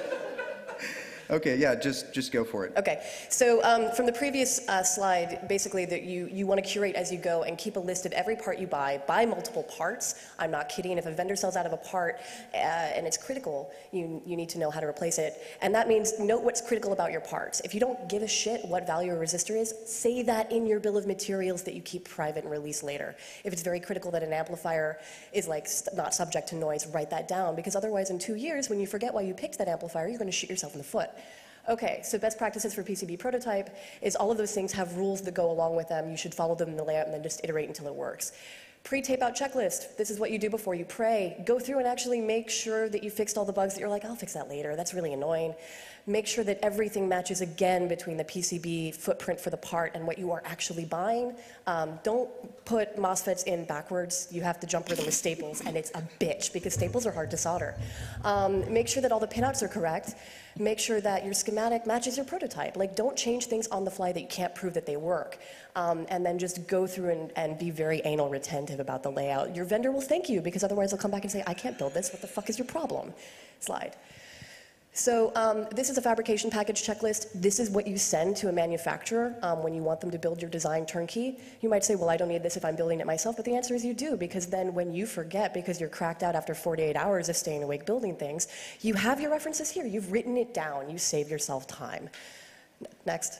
So, um, and this is the design documentation checklist, and most of this you should have already generated during your process, and then it's just really easy to open up to other people so they can learn from your process both from the goals, the system block diagram. I literally do break everything down by that block diagram and have a paragraph in my user document about stuff. Did I do this for the Ninja badge? No, not yet, because I didn't do it before. Um, and it's a year and a half later, and it's still not done. Um, same thing with your software firmware separate and uh, how a user should use it. So next. So you're like, are these things I should do or things you should talk about? The answer is both. Write down your rationale as you go along, and then that document generates itself, and then the next person can come and work with you. Because, slide, the predicate of read the fucking manual is write the fucking manual. And, uh, slide, and, and, doc, and documentation should be a dialogue. I should see that you made a really awesome RF widget um, or a near field communication widget for this Android phone, and I should be able to be like, oh, hey, oh, he found out that like this part from this vendor is a piece of shit, and you should always use like the Freescale part. Oh, awesome! I'm never gonna like make that mistake again. So if you write the story and I write the story, and we both pu- put it out there, we can really build awesome systems. Slide. So the added benefits of opening, openly discussing your process are, one, you seem less hardcore because everyone sees how much you mess up. But then you get to defeat things like analyst bias, where you assume that I'm perfect, or asshole bias, where you assume that you're perfect, or cargo cult bias, which is like what everyone does with radio. They say, oh, it's black magic. If I copy it exactly, it will work, not understanding any of the underlying process parameters of physics that might make it not work. Slide. So the real world example is that robotics controller I built. Um, I've been able to hand the documentation and a kit off to a bunch of different people, and it's gone in things from microscopes to diagnostic machines and human assistive robotic devices. And I've had to do maybe about five to 12 hours of extra work. It's wonderful. Slide. Um, you know, it's the same thing whether or not you're doing it for a hobby or whether or not you're doing it for um, industry. Uh, this basic documentation, just you start to get into things like how does your stuff fail over time and temperature and in the field? And it's just a matter of details and complexity, but the form of the process and the form of what you want to document is always the same. Next. So the more you share and the more others can question your design and question your sanity when you're making something, the faster that we can all learn from our collective mistakes and the sooner we can celebrate our collective successes and make much, much more excellent systems together. Thank you.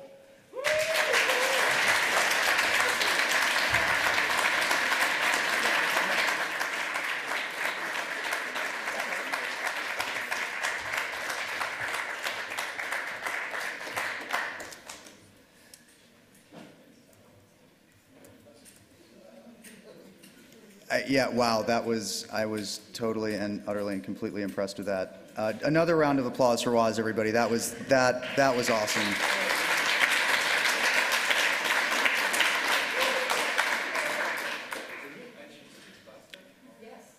No, I-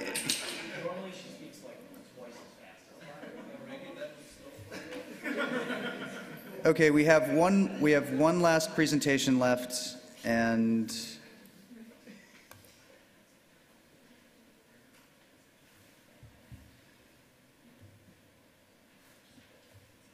Yep, Harvesting boarding passes. Andre, are you ready? Okay. And this is actually 20 slides.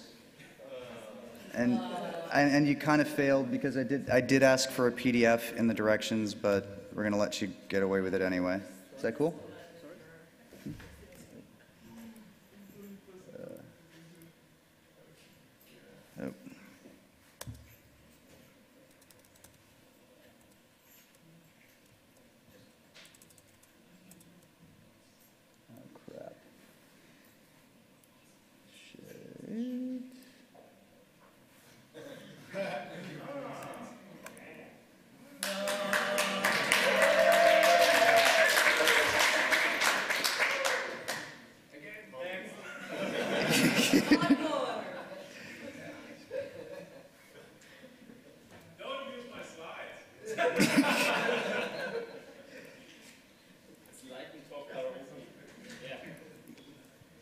See, the first half of this lightning talk went, uh, lightning talk session went so well. The second half obviously had to have some massive fail in it, so I apologize for that.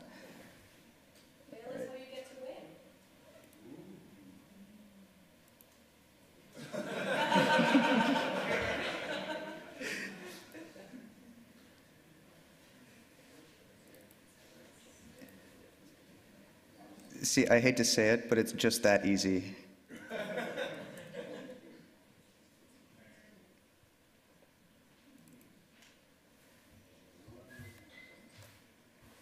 Bam, okay. And then, all right.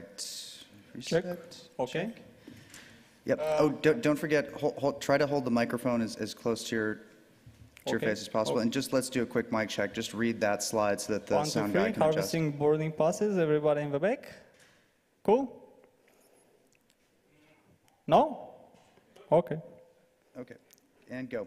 Okay, uh, my name is Andrei, and I'll be presenting harvesting boarding passes. So the idea came up to me when I was once doing uh, some checking from uh, hotel lobby workstation, and I was thinking like, hey, a lot of boarding passes should be floating around the internet, right? So I think everybody of you used these uh, boarding passes, and most of you, or 100% of you, use online check-in and have digital boarding passes, right?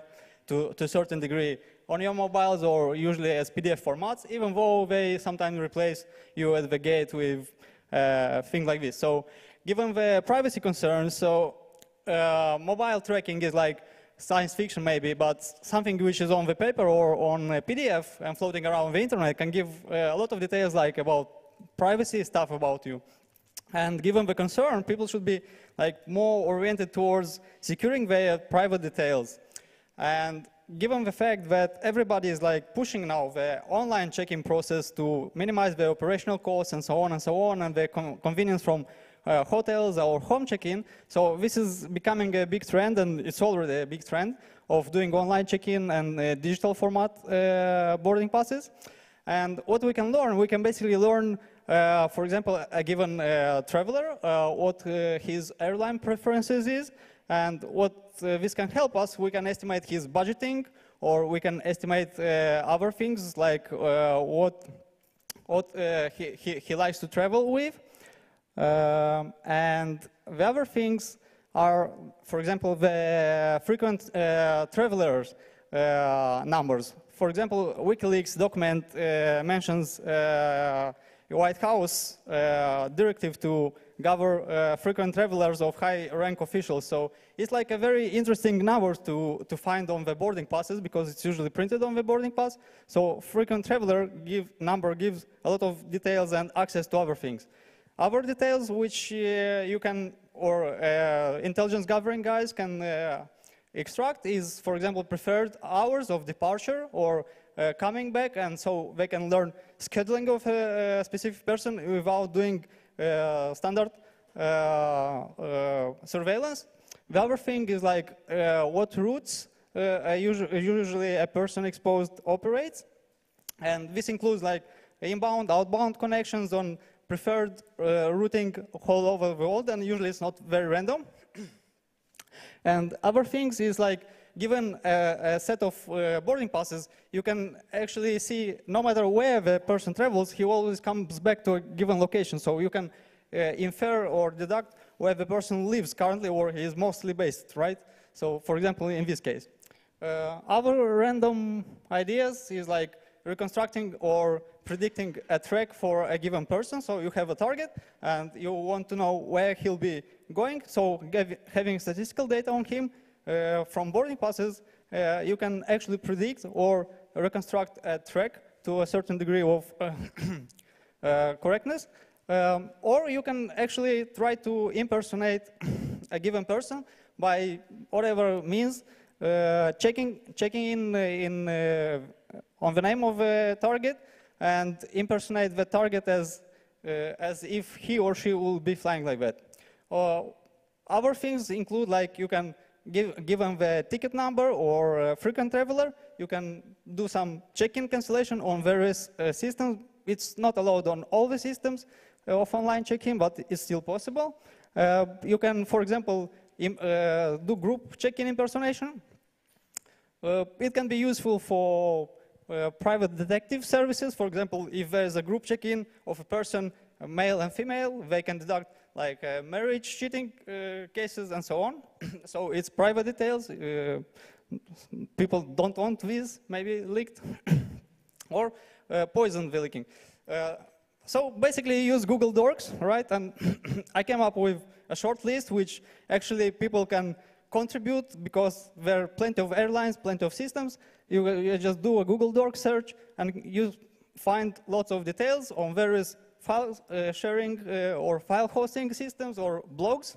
so uh, I've tried to summarize for KLM and Lufthansa, basically, and here are some, some lists. And on the next slide will be a longer list, but basically KLM and Lufthansa I, I see as big ones, so I've tried to target these ones. However, if you put some effort into getting the words, as you can see, they are very predictable because they are generated from various reporting systems. So these words, you can try to fuzz them and uh, find various PDF documents uh, with this internet check-in, boarding, or so on and so on. So you get a lot of uh, results. the first takeaway is you have to secure your sensitive data or the sensitive data of your client or whoever you manage. And if you fail to do this, then you should not be winning around that somebody is tracking you because in the first place, you're leaking your sensitive data in the first place, right? So this is one very important takeaway. Second is like try to contribute uh, based on your online checking experience, contribute with Google Docs because it can help others to check their own uh, exposure, so to speak. and uh, basically, the last takeaway is use it for your own testing. Don't stalk on people because, first of all, it's illegal and it's harassing and so on and so on. So you, you understand the implication. And the idea is to just do it on your own details to make sure you're not exposed. and I think that's about it. This is the last slide. And I have, if there's a quick question, maybe. If not, somebody will be counting me now? Okay.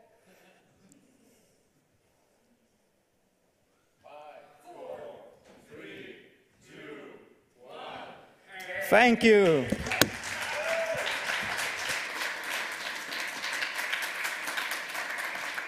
All right, th thank you, everybody. And I, I, do want to give a special, special, extra special round of applause to the to the audio angels who had to keep up with all of the different changing levels for all of the presenters. This was the toughest, toughest audio angel job that you will have at Congress. Huge round of applause for that guy behind the board over there.